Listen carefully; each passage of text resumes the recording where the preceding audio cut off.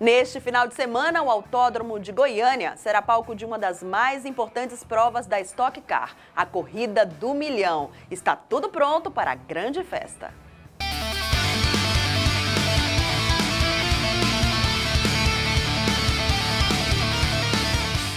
Final de semana de tirar o fôlego na Stock Car. A quinta etapa da temporada 2014 vale mais do que simplesmente alguns pontos na tabela de classificação e, eventualmente, até a liderança da competição.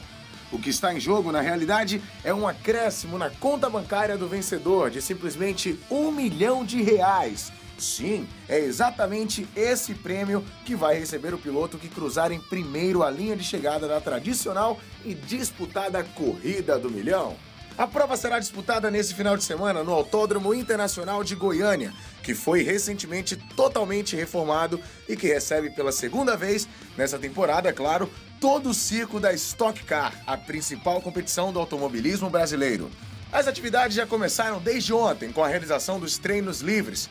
Hoje estão previstos os treinos classificatórios e amanhã, pela manhã, a largada oficial da Corrida do Milhão. E ao final de 50 minutos e mais uma volta de prova, saberemos quem vai dormir com um milhão na sua conta bancária.